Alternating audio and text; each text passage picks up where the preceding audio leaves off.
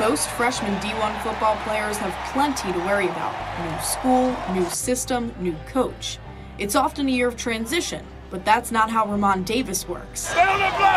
Just five games into his collegiate career, and running back Ray Davis is putting up veteran stats, averaging just better than 100 rushing yards per game. You know, I try not to think so much of it. You know, I try to just simple it as it's just playing football. It's like playing football when you're younger, you're just a bigger stage, more people, you know, a lot more fans. So I kind of just uh, just play football. While Ray Davis continues to gain respect on the field, his impact is felt in the locker room, where even as a freshman, he brings a new sense of maturity and leadership to the team. I tell him all the time, I'm so proud of not just what he does on the field, but the way he carries himself. You know, as a true freshman, to have that toughness about him and, and you know, be able to carry himself with such, you know, strength and, and, and respect. And he's mature beyond his years. I tell him all the time he's going to be a great player, and he just keeps getting better week in and week out. Davis already has the sixth most rushing yards ever by a Temple freshman, and the season isn't even halfway over.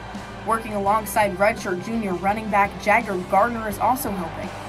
And even though Davis doesn't run like a freshman, he still is one. You know, Jager has really helped me a lot. You know, he's been here. Um, he's, he's been able to sit me down and just say, you know, listen, everything is going to be fast paced. Things are going to come at you quick. Just take a deep breath and, um, you know, learn everything. When I, when I came in here as a freshman, you, you get overwhelmed with some things, you know. I just told him to breathe, relax. You know, you're a freshman. You got a lot to learn. At the same time, you're going to learn a lot playing. So I just told him to relax and, you know, be patient. Davis knows he has a greater role and responsibility on the team than most underclassmen, but he doesn't see it as an issue. He credits his older teammates with helping him transition to the big stage.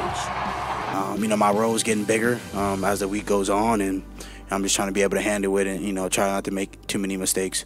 For Campus Connect from Temple University, I'm Brooklyn Vaughn.